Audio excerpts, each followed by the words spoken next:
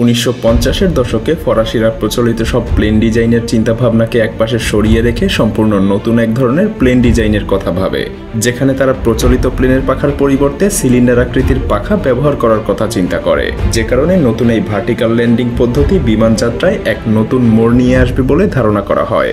Cylinder শেপের পাখা হওয়ায় এই প্লেনগুলো লম্বাভাবেই টেক অফ করতে পারবে কোনো ধরনের রানওয়ে ছাড়াই যে কোনো জায়গা থেকেই এই প্লেনগুলোকে উড্ডয়নও করানো যাবে, যে কারণে ফ্রান্সের আকাশ সীমায় কোনো শত্রুর প্লেনকে পুরো এক ঝাঁক মৌমাছির মতো ঘিরে ধরতে পারবে এসব প্লেনগুলো। যেমন প্রচলিত পদ্ধতিতে কোনো প্লেনের টেক অফ করার জন্য রানওয়ের প্রয়োজন হয়। কিন্তু এই রানওয়ে ধরে হাই স্পিডে নির্দিষ্ট গতি পার করার পর কোনো প্লেন আকাশে উঠতে পারে। তার মানে যত বড় রানওয়ে, তত সেফ টেক অফ আবার অনেক দ্রুত টেক অফ করতে হলে প্লেনের গতি কম সময়ের মধ্যেই অনেক বেশি পরিমাণে বাড়াতে হবে। আর একমাত্র এভাবেই রানওয়ের দৈর্ঘ্য কমানো সম্ভব। কিন্তু উনিশ শতকের দিকে ফরাসি বিজ্ঞানীরা ভাবতে শুরু করে প্লেনগুলোকে যদি যথেষ্ট পরিমাণে শক্তিশালী করে তোলা যায়, তাহলে হয়তো তাদের টেক অফ করানোর জন্য কোনো ধরনের রানওয়েরই প্রয়োজন হবে না। প্লেনগুলোকে যদি সরাসরি নব্বই ডিগ্রি অ্যাঙ্গেলে দাঁড় করিয়ে তাদের ইঞ্জিনের সাহায্যে প্রচুর পরিমাণে শক্তি উৎপন্ন করা যায়, তাহলে তারা খুব সহজেই এক জায়গায় স্থির থেকেই আকাশের দিকে উঠতে পারবে। আর এর জন্য দরকার অনেক বেশি শক্তিশালী ইঞ্জিন। আর সেজন্যই বিজ্ঞানীরা তাদের এক্সপেরিমেন্ট শুরু করে। এই এক্সপেরিমেন্টের কারণে নতুন সব শক্তিশালী প্লেনের ইঞ্জিন তৈরি হতে থাকে, যেগুলোকে বলা হয় টেইল সিটার। যে কোনো দেশ যখন যুদ্ধ করে, তখন শত্রুপক্ষের প্রধান টার্গেট থাকে সেই দেশের বিমানবন্দরের রানওয়েগুলো। কারণ রানওয়ে ধ্বংস করে দিতে পারলেই আক্রমণের শিকার হওয়া দেশ তাদের বিমান বাহিনীকে আর ইউজ করতে পারবে না। আর ঠিক এই জন্যই ভার্টিক্যাল টেক অফ করতে পারা প্লেনগুলো মিলিটারি এয়ারফোর্সে এক নতুন বিপ্লব নিয়ে আসবে বলে সে সময়ের বিজ্ঞানীরা ধারণা করেছিল। কারণ এয়ারপ্লেনগুলোর যদি কোনো ধরনের রানওয়ের প্রয়োজন না হয়, তাহলে তারা যে কোনো জায়গা থেকেই গোপনে টেক অফ করতে পারবে। শত্রু প্লেনগুলো বুঝে ওঠার আগেই তাদের উপরে আক্রমণও করা যাবে। আর তাই উনিশশো চুয়ান্ন সালে বিমানের ইঞ্জিন বানানোয় বিখ্যাত একটা ফরাসি মহাকাশ সংস্থা টেইল সিটার প্লেনের ধারণাটা আদৌ বাস্তবায়ন করা সম্ভব কিনা তা প্রমাণ করার জন্য একটা টেস্ট প্রজেক্ট বানায়। নতুন এই ধরনের প্লেন তৈরি করার জন্য শুধুমাত্র শক্তিশালী ইঞ্জিনই যথেষ্ট ছিল না। এর জন্য প্রয়োজন ছিল পুরোপুরি নতুন ধরনের কন্ট্রোল সিস্টেম আর এগুলো শুধুমাত্র ফ্রেঞ্চরাই না। নতুন এই বিমানের ধারণা নিয়ে আমেরিকানরাও সেই সময় প্রোটোটাইপ তৈরি করছিল। এটা দেখতে আর পাঁচটা প্রচলিত সাধারণ বিমানের মতো না। তার কারণ এটার শক্তিশালী বিশাল ইঞ্জিনটা প্রায় সাড়ে দশ ফুট ব্যাসের গোলাকার ডানা দ্বারা বেষ্টিত হবে। অপ্রচলিত এই পাখার ডিজাইন প্লেনটাকে আরও বেশি দক্ষতার সাথে উঠতে সাহায্য করবে বলে বিজ্ঞানীরা ধারণা করে। এগুলো ছাড়াও এটার আকৃতি টেক অফ আর ল্যান্ডিং এর জন্য প্রয়োজনীয় জায়গার পরিমাণটাও কমিয়ে দেবে। ফরাসি বিজ্ঞানীরা এই ধারণাও দিয়েছিল যে এই বিশেষ ধরনের উইংকে শেষ পর্যন্ত একটা রামজেট হিসেবে ব্যবহার করা যেতে পারে। যার কারণে আকাশে থাকা অবস্থায় বিমানের দিকে আসা বাতাসকে সংকুচিত করে, এটার জ্বালানির সাথে মিশ্রিত করে প্লেনটাকে সুপারসনিক গতি দেওয়াও সম্ভব হবে। জেট ইঞ্জিন, বিশেষ আকৃতির ফ্রেম, নতুন কন্ট্রোল সিস্টেম সব মিলিয়ে এই প্লেনটা হবে অসাধারণ এক আবিষ্কার। টেক অফ আর ল্যান্ডিং এর সময় প্লেনটাকে কন্ট্রোল করার জন্য ইঞ্জিনের এক্সস্টে এক বিশেষ ধরনের থ্রাস্টও ব্যবহার করা হবে। আর সাধারণভাবে আকাশে ওড়ার জন্য ছোট দুইটা ত্রিভুজ আকৃতির ডানা ডিরেকশনাল কন্ট্রোলে হেল্প করবে।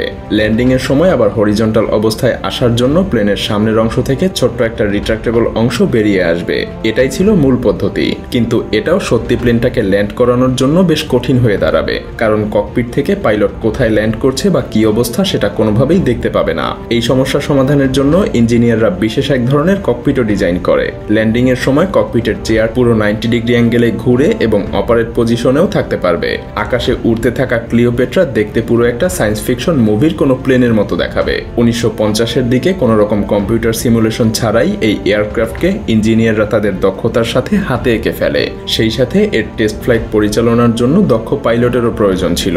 ক্লিওপেট্রার ফ্লাইং টেস্টিং শুরু হয় উনিশশো সালের এপ্রিল মাসে। শুরুতে একটা ক্রেনের রশি বেঁধে বিমানটাকে ফ্লাইট টেস্ট করানো হয়। এক মাসের মধ্যেই প্লেনটা নিজের দক্ষতাও প্রমাণ করে দেয়। সেই সময় পর্যন্ত প্লেনটা কয়েক মিনিট যাবৎ আকাশে ভেসে থাকতে পারত। এমনকি সর্বোচ্চ আটশো মিটার পর্যন্ত উঁচু ফ্লাইট টেস্ট করতে সক্ষম হয়। বিশেষ এই প্লেনটা নিয়ে পুরো ফ্রান্স জুড়ে তোলপাড় হয়ে যায়। খবর ছড়িয়ে পড়ে সারা বিশ্বে। এদিকে আমেরিকানরাও যেহেতু ফ্রান্সের এই প্রজেক্টকে অনেকদিন থেকেই ফলো করে আসছিল, তারাও পাগল হয়ে যায়। নিজেদের অ্যারোস্পেস ফার্মকে যত দ্রুত সম্ভব ফ্রান্সকে টেক্কা দেওয়ার মতো একটা ডিজাইন তৈরি করার আদেশও দেয়। কিন্তু অন্যান্য আর পাঁচটা বিশেষ ডিজাইনের মতো এই প্লেনেরও ভুল বের হতে খুব একটা সময় লাগেনি। সেই ভুলটা হলো প্লেনটাতে তেমন কোনো বড় পাখা ছিল না। যে কারণে ভার্টিক্যাল টেক অফের সময় প্লেনটা নিজ অক্ষে কিছুটা ঘুরতে শুরু করে। আর বাড়তি কোনো পাখা না থাকায় পাইলটের পক্ষে এই ঘোড়া কন্ট্রোল করা বেশ কঠিন হয়ে যায়। এগুলো ছাড়াও যেহেতু যেহেতু পাইলট প্লেনের একদম উপরে ছিল, তাই তার পক্ষে ল্যান্ড করার সময় মাটি ঠিক কতটা নিচে রয়েছে তা বোঝাও বেশ কঠিন হয়ে যায়। এগুলো ছাড়াও যে কোনো ইমার্জেন্সিতে সাধারণ প্লেনগুলো ইঞ্জিনের শক্তি ছাড়াও ল্যান্ড করতে পারে। কিন্তু এই প্লেনের ক্ষেত্রে ইঞ্জিন ছাড়া ল্যান্ড করা কোনোভাবেই সম্ভব ছিল না। কিন্তু ফরাসিরা তো আর কোনোভাবে হাল ছেড়ে দেওয়ার পাত্র ছিল না। তারা তাদের ডিজাইনে আরও ইমপ্রুভ করতে থাকে। উনিশশো উনষাট সালের জুলাই মাসে তারা এই প্লেনটার সব থেকে চ্যালেঞ্জিং প্রসিডিওরটা করার জন্য রেডি হয়। আর সেটা হলো খারাপভাবে উপরে ওঠার পর এটার সামনের দিকে আগানোর জন্য প্র্যাকটিস করা।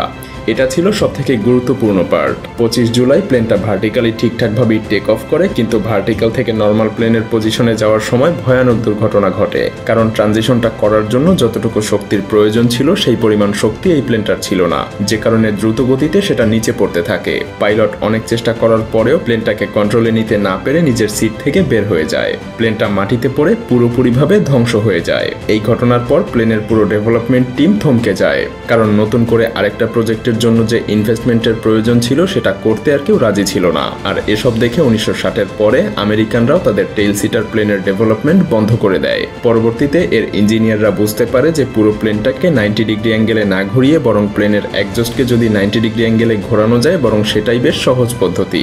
এছাড়াও প্লেনের রিং আকৃতির পাখা মোটেও উচ্চ গতির জন্য উপযুক্ত ছিল না। আর এভাবেই এই প্লেন পুরোপুরিভাবে রেডি হয়েও হারিয়ে যায়।